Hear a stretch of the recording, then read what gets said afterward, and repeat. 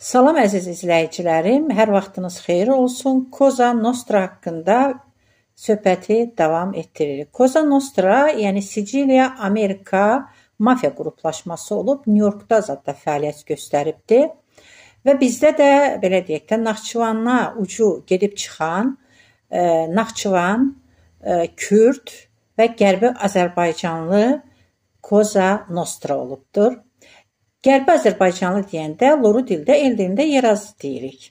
Yəni Naxçıvanlılar, Kürdlər, Yerazılar məndən inciməsin. Əzizlərim, odur e, Koza Nostraya e, İtalyan, yəni e, Siciliya, Amerika mafiyası deyirlər. Amerikalılar incimirlər ki, yəni ki, Amerikalılardan da orada iştirak edən üzvlər olub.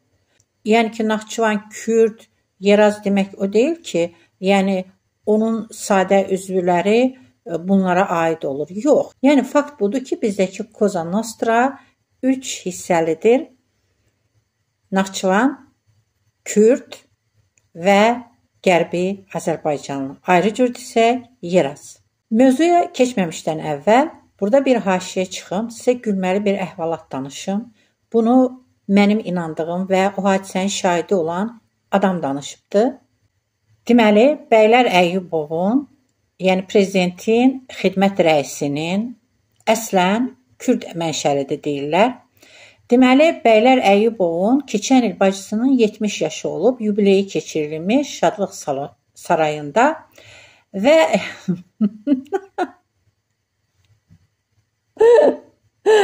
və nə olub təmin e, yubileydə deyir üzərlik yandırıb bütün salon boyu gəzdiriblər. Yəni prezidentin təhlükəsizlik xidmətinin rəisinin bacısının yubileyində üzərlik yandırırlar. Prezident də bəylər Əyyubova öz təhlükəsizliyini etibar edib, cənab İlham Əliyev, siz də üzərlik yandıraraq qoruna bilərsiniz. Bir də böyük bir təhlükəsizlik xidməti saxlamağın nə mənası var ki? Doğrudanmı Bəylər Əyyubova onun bacısına, yəni onlara e, gözləri dəyən də olacaq? Yəni insanlar bax bu cür qazanılan var dövlətə, bu cür qazanılan mövqeyə e, qısqanırlar yaxud paxıllıq edirlər. Bilmirəm. Beləliklə keçək əsas mətləbə. Bu günlərdə izləyicilərimdən biri Qambay Məmmədovun adını çəkdi və beynimdə bir lampışka yandı. Bu adı mən bir vaxtlar eşitmişdim ki, bu insan prokuror olub. Və baxdım ki, 1963-1976-cı illərdə Azərbaycan SSR-nin baş prokuroru olub və onun Heydər Əliyevlə çox böyük münaqişəsi olub. Və bunu araşdıranda mənim yadıma Sprut filmi düşdü. Sprut osminoq deməkdir dəniz e, dənizdə yaşayan bir varlıqdır. Çoxlu qolları var. Və Sprut filmi İtalyan filmidir. 1984-cü illərdə çəkilmiş teleserialdır. Çoxlu serialları var. Sprut 1, 2, 3, 4 və baş qəhrəmanı da komissar Catanidir. Corrado Catani. Deməli bu komissar, polis komissarı Siciliya mafiyasına və korrupsiyaya qarşı böyük savaş açır. Çox gözəl filmdir. Çox gözəl. Gənclərə tövsiyə edirəm.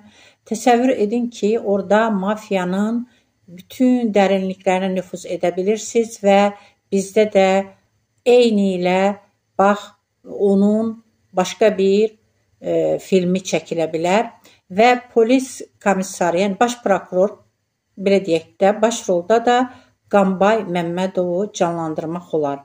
Ona görə də Qambay Məmmədov haqqında az-az danışacağam ki, bu çox maraqlı bir materialdır və gələcəkdə bizim rejissorlar üçün, bizim ssenaristlər üçün, bizim yazıçılar üçün çox böyük bir məhsul var orada, materiallar var. Yəni ondan kitab yazmaq və çox məşhur film çəkmək olar. Eyni zamanda Sprut Osminok sözü gələndə bir çox insanlar bilir. Azərbaycanda kimin adı yadınıza düşür? Bəli, məşhur Hacı Məmmədovun. Hacı Məmmədov 2005-ci ildə qara kəmər əməliyyatı nəticəsində Daxili İşlər Nazirliyində aparılan əməliyyatda tutulan böyük bir dəstənin başçısı olubdur və 2017-də güya intihar etdi. Adam həbs olunandan sonra 12 il sonra nədən intihar etsin? Biz həbsxanalarda baş verən intiharlar haqqında da eşitmişik. Yəqin bir gün bunlar da Qambay Məmmədov haqqında az-çox material üzən çıxan kimi onlar haqqında da material çıxar. Və həmin Hacı Məmmədov məhkəmələrin birində demişdi ki, mən Asminoqun bir ayağıyam. Məndən də dəhşətli dəstələr var. Yəqin ki, 2017-ci ilə qədər onu sustura biliblər. Aralıq sakitləşən kimi belə bir təhlükəli adamla, yəni yuxarı, yuxarı, yuxarı sirləri bilən e, demək adamdan qurtulmaq ən yaxşı üsuldur. Stalin demiş, insan yoxdur, problem də yoxdur. Beləliklə Sprut Hacı Məmmədov da göstərdiyi kimi Osminok bizdə də öz qollarını e, buraxmaqda, yəni o Osminoqun əsas qolları öz fəaliyyətini dərinlərdə davam etdirməkdə davam edir. Beləliklə qaydaq 60-70-ci illərə.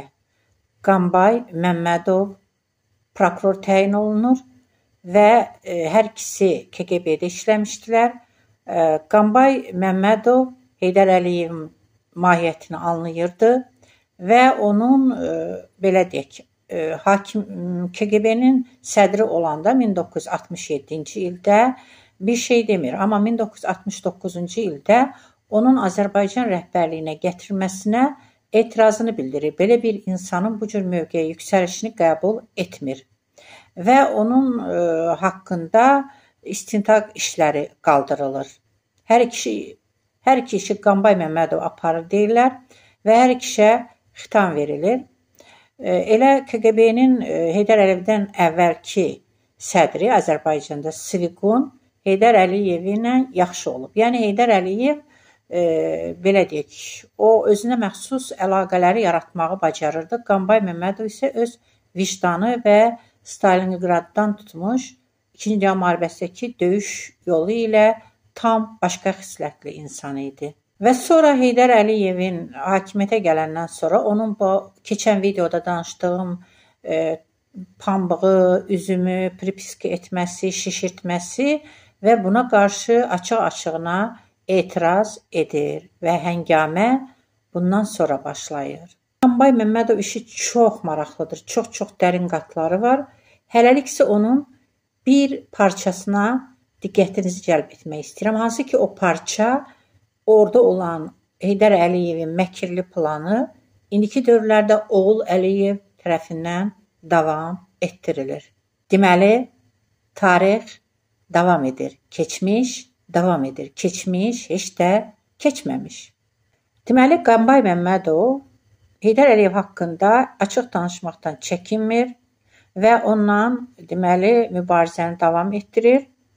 Əliyev çox dözür, prokuroru yola gətirmək istəyir, ətrafındakılarla ona xəbər göndərir. Ancaq görür ki, Qambay Məmmədov ipə-sapa yatmır və təhlükəli şahidin aradan götürülməsi üçün oyunlar qurmağa başlayır.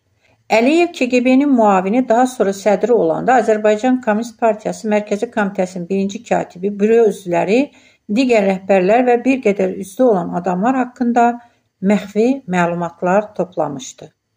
Deyirəm də, bu 90-ların dosyaları var. Hamının dosyası var. Ona görə bunlar bir-birinə çataq kimi bağlıdırlar.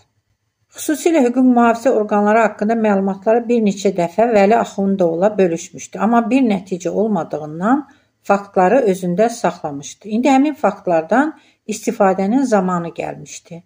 Əliyevin prokurorluğun istintaq şöbəsinin rəisi İbrahim Babayevin bəzi əməllərindən xəbəri var idi. İbrahim, yəni Saşa ləqəbi var imiş. Yəni Əliyevin Qambay Məmmədova dişi batmır əvvəl onun ətrafdakılarınla başlamaq istəyir. İstəyir ki, onlardan e, istifadə edib Qambay Məmmədova qarşı e, qaldırsın. Onu prokurora qarşı qaldırmaq, ondan ifadə alaraq eyni zamanda yola gəlməyən prokurorun da məsələsini həll etmək olardı. KGB Saşanı izləməyə, nəzarətə götürməyə başladı. Telefonlarına qulaq asdılar, görüşlərini lentə aldılar. Ortaya onun və İzik Quliyevin gizli sex sahiblərinə himayədarlığı məsələsi atıldı. Yəni o vaxt gizli sexlər fəaliyyət göstərdi. Ona qara iqtisadiyyat deyirlər, gizlində olan.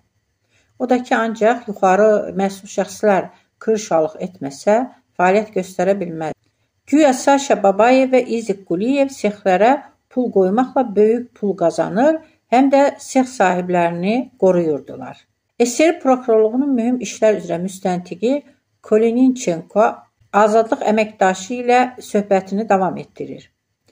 Gizli sex rəisləri həbs edildilər. Növbə Saşa Babayeva çatdı. Əliyev baş prokuror Roman Andreyeviç Rudenkoya zəng etdi. Ona Saşa Babayevin gizli sex sahibləri ilə əlaqəsi olduğu barədə məlumat verdi. Bundan əvvəl Əliyev prokuror Qambay Məmmədovu yanına çağırdı və prokurorun yaxın adamı olan Babayevin həbsi ilə bağlı sanksiya verməsini ondan tələb etdi. Əliyev Rudenkoya bildirdi ki, Mərkəzi Komitə Respublika prokurorluğuna inanmır. Buna görə də işin SSR prokurorluğunun mühüm işlər müstəntiqlərindən birinə verilməsini istəyir. İnamsızlıq yaratmaq üçün faktlar çoxdan hazırlanmışdı. Gizli milislər Moskva mehmanxanalarının birində Saşa Babayevin SSR prokurorluğunun bir qrup əməkdaşı ilə birlikdə əxlaqsız qadınlarla eş işrət məclisini lentə köçürmüşdü. Rudenkonu inandırmaq üçün lenti ona göstərdilər. Mərkəzi aparatın lentə düşmüş əməkdaşları işdən qovuldu. Azərbaycana isə yoxlama aparmaq üçün xüsusi istintaq qrupu göndərildi. Əliyevin əlinə imkan düşmüşdü. Babayevin işindən istifadə edərək prokurorluqda yoxlama başladı. Və bunun sonu nə olur? İbrahim Babayev və İzik Quliyev həbs olunurlar və ölüm hökmü verilir. Halbuki həmin dövrdə deyir, gizli sexləri prokurorlar deyil, nazirlər açdırmışdı. Burdan gələn pulların çoxu da elə onların cibinə gedirdi. Saşanı, yəni İbrahimi və İziki güllələnmə otağına gətirirlər deyir. İzik Azərbaycanın sabiq baş naziri Teymur Quliyevin oğlu idi. Gizli iqtisadiyyatın, sexlərin bu nəzarət prokuroruna nə dəxli vardı ki? Sifətinin qanı qaçmışdı, özünü itirmişdi. Sonuncu dəqiqələrdə belə başına nə gəldiyini anlamırdı. Sinəsinə düyünlənmiş hıçqırıqlarını səsə çevirmək qışqırmaq istəyirdi. Az qalırdı nəzarətçilərin əlindən e, çıxıb ölümün ağzından qaçsın. Yəni adam hələ də anlamırdı ki, onu nəyə görə öldürürlər və arxadan atəş açılır, İzik öldürülür. Növbə İbrahim Babayevə çatır. Onu ölüm otağına əli qandallı gətiriblər. Müharibə iştirakçısı olub, mühar 2-ci Dünya müharibəsi və İbrahim Babayev şux yerişli, uca boyu, gözəlliyi e, ölüm qoxusu da deyir ala bilməmişdi. Ölüm anını hiss etdirmədən otağa girdi və onu da e, bir erməni öldürür və ölümdən əvvəl o deyir ki, Rəşid, uşaqlara salam de. Bilin, bizim heç bir günahımız yoxdur. İbrahim soyuqqanlığı ilə ölümü dondururdu. Erməni prokuror belə onun baxışlarına dözmədi, yana çevrildi və arxadan atəş açıldı. Beləliklə İzik Quliyev və e, İbrahim Babayev niyə öldürüldü? E, çünki Heydər Əliyev Qambay Məmmədovdan intiqam almaq istəyirdi. Halbuki bu işlərin arxasında nazirlər dururdu. Prokurorluq yox. Burada bir nöqtə. Yəni fikirləyirsiniz, əxlaqsız qadınlarla eş işrət məclisinin lentə köçürülməsi bu sizə tanış gəlirmi? Deməli Heydər Əliyev bunu gizli edib gizli dairələrdə göstərirdisə, İlham Əliyevin dövründə bu daha açıq şəkil aldı və insanların yataq otaqlarına qədər hakimiyyət girdi. Özünüz görürsüz ki, İlham Əliyevin dövründə intim videolar, şantajlar hər bir e, hakimiyyət e, pilləsində istifadə olunur, hətta müxalifət dairələrində də. Yəni atada əsası qoyulan bax bu şantajın oğulda miqyası daha da genişləndi. Nə vaxt baxırsan, intim videolar, şantajlar meydan sulayır. Vaxt-vaxt üzə çıxır. Bu qədər şərəfsizlik, əclaflıq olarmı?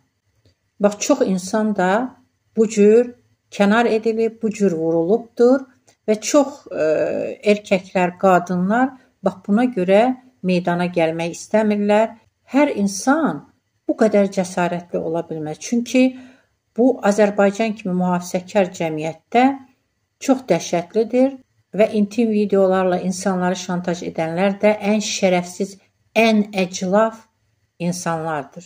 Gördüyünüz kimi e, Heydər Əliyev, İlham Əliyev kursunun bir qolu da nədir?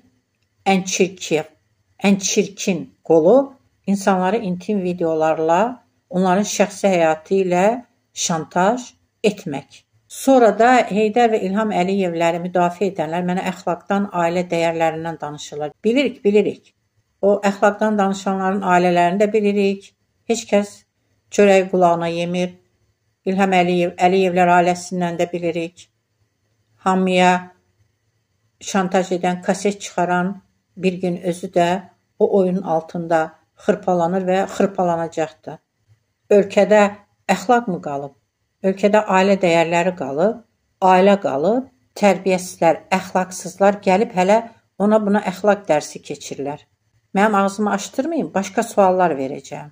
İntim videolardan istifadə edən, xalqın yataqlarını çəkib göstərən elə əsası sizin Heydər Əliyevinizdə qoyulubdur 60-70-ci illərdə.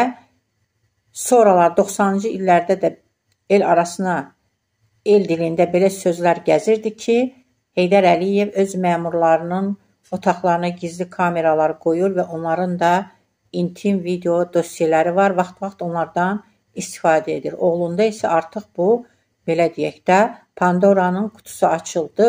Bütün cəmiyyət əxlaqsızlığın cəngindədir. Ha, sonda bir şəkil də qoyum. Hacı Məmmədov məni reklam edirdi. Yəni Hacı Məmmədovun bir banda dəstəsinin İlhamə Quliyeva ilə şəklinə də baxın. Heydər Əliyev İlham Əliyev dövrünün primadonnası Hacı Məmmədovla birgə. Mafiya həmişə incəsənət adamlarından istifadə edibdir. Ona görə deyirəm incəsənət diktatura dövründə ədəbiyyat çox böyük qüvvəyə malikdir və ədəbiyyat nümayəndələri çalışın, bax bu mövzulardan xalqın xeyrinə istifadə edib gözəl əsərlər yazın. Sonunu yenə bir izləyicinin yorumu ilə gətirirəm. O izləyici mənim Duduşxana videoma belə bir rəy yazıb. Bu milləti döyə-döyə müsəlman ediblər. Nə gözləyirsiniz? Bu millətə duduş maraqlıdır. Bir də baboş. Çox gözəl qafiyə bulub bizim bu izləyicimiz Duduş və Baboş. Baboşu tanımıram. TikToka e, münasibətimi bir dəfə demişəm, yenə də deyirəm. TikTok e, bu xalqın güzgüsüdür. Qoy olmalıdır, qoy fəaliyyət göstərsin və biz TikToka baxmaqla bu xalqın e, belə deyək də səviyyələrini görürük və hər kəs öz səviyyəsinə uyğun, yəni YouTube-da, TikTok-da, Instagram-da, Facebook-da hər bir insanın seçim hüququ var. Ona görə də heç bir platforma pisdir ya yaxşıdır deyə bilməzsiniz. Eləsi var baboşa baxacaqdı, eləsi var başqasına. Burada baboşun günahı yoxdur. Babaş heç kəsi məcbur etmir baxasız. Deməli, e, gördüyünüz kimi hələlik çoxluğa Duduş və Baboş maraqlıdır. Sonda elə o TikTokdan bir xanımın videosunu qoyuram və həmin e, video Azərbaycanın ailə dəyərlərini, əxlaqını ən gözəl şəkildə göstərir.